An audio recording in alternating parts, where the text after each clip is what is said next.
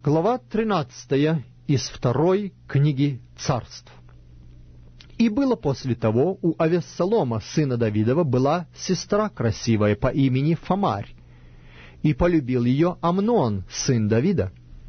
И скорбел Амнон от того, что заболел, до... и скорбел Амнон до того, что заболел из-за Фомари, сестры своей, ибо она была девица, и Амнону казалось трудным что-нибудь сделать с нею.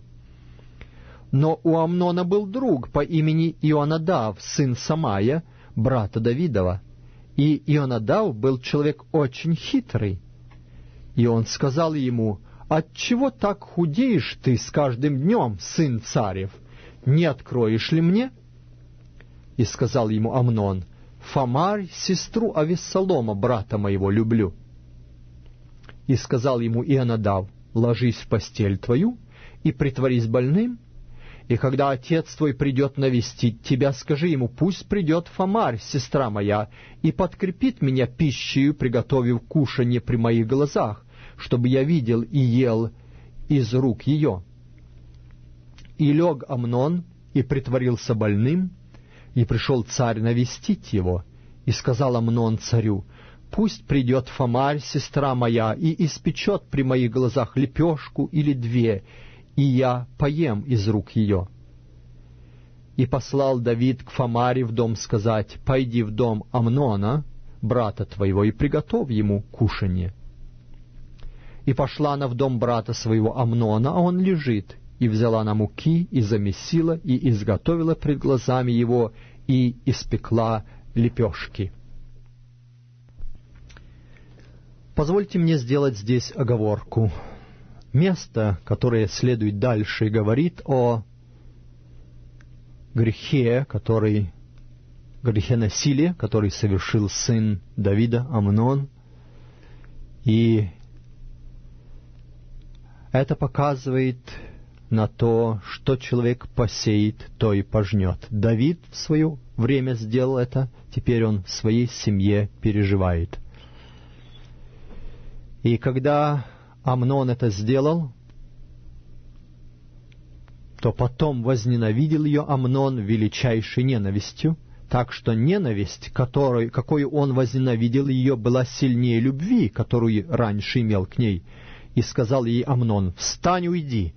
И Фомарь сказал ему, «Нет, прогнать меня — это зло больше первого, которое ты сделал со мною». Но он не хотел слушать ее и позвал отрока своего, который служил ему, и сказал, «Прогони эту от меня вон, и запри двери за нею». На ней была разноцветная одежда, ибо такие верхние одежды носили царские дочери-девицы. И вывел ее слуга вон, и запер за нею дверь. И посыпала Фомарь пеплом голову свою, и разодрала разноцветную одежду, которую имела на себе, и положила руки свои на голову свою, и так шла, и вопила. И сказал ей Авессалом, брат ее, «Не Амнон ли брат твой был с тобою? Но теперь молчи, сестра моя, он брат твой. Не сокрушайся сердцем твоим об этом деле». И жила Фомарь в одиночестве в доме Авессалома, брата своего. И услышал царь Давид об всем этом и сильно разгневался. А Вессалом же не говорил с Амноном ни худого, ни хорошего, ибо возненавидел Авессалом Амнона за то, что он обесчестил Фомарь, сестру его. Через два года было стрижение овец у Авессалома в Аал-Гацоре, что у Ефрема, и позвал Авессалом всех сыновей царских. И пришел Авессалом к царю и сказал, «Вот ныне стрижение овец у раба твоего, пусть пойдет царь и слуги его с рабом твоим». Но царь сказал Авессалому, «Нет, сын мой, мы не пойдем все, чтобы не быть тебе в тягость».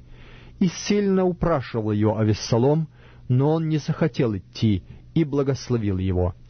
И сказал ему Авессалом, «По крайней мере, пусть пойдет со мною, с нами Амнон, брат мой». И сказал ему царь, «Зачем ему идти с тобою?» Но Авессалом упросил его, и он отпустил с ним Амнона и всех царских сыновей. А же приказал отрокам своим, сказав, «Смотрите, как только развеселится сердце Амнона от вина, И я скажу вам, поразите Амнона, тогда убейте его, не бойтесь. Это я приказываю вам, будьте смелы и мужественны. И поступили отроки Авессалома с Амноном, как приказал Авессалом. Тогда встали все царские сыновья, сели каждый на мула своего и убежали. Когда они были еще на пути, дошел слух до Давида, что Авессалом умертвил всех царских сыновей, и не осталось ни одного из них. И встал царь, и разодрал одежды свои, и повергся на землю, и все слуги его, предстоящие ему, разодрали одежды свои. Но Ионадав, сын Самая, брата Давидова, сказал, «Пусть не думает господин мой, что всех отроков царских сыновей умертвили. Один только Амнон умер, ибо у Авессалома был этот замысел с того дня, как Амнон обесчестил сестру его. Итак, пусть господин мой царь не тревожится мыслью о том, будто умерли все царские сыновья, умер только один Амнон. И убежал Авессалом. И понял отрок, и поднял отрок, стоявший на страже, глаза свои, и увидел, вот много народа идет по дороге по скату горы. Тогда Ионадав сказал царю, «Это идут царские сыновья, как говорил раб твой, так и есть». И едва только сказал он это, вот пришли царские сыновья и подняли вопль и плакали. И сам царь и все слуги его плакали очень великим плачем. А Вессалом же убежал и пошел к Фалмаю, сыну Емиуда, царю Гессурскому, и плакал Давид о сыне своем во все дни. А Вессалом убежал и пришел в Гессур, и пробыл там три года, и не стал царь Давид преследовать Авессалома, ибо утешился о смерти Амнона.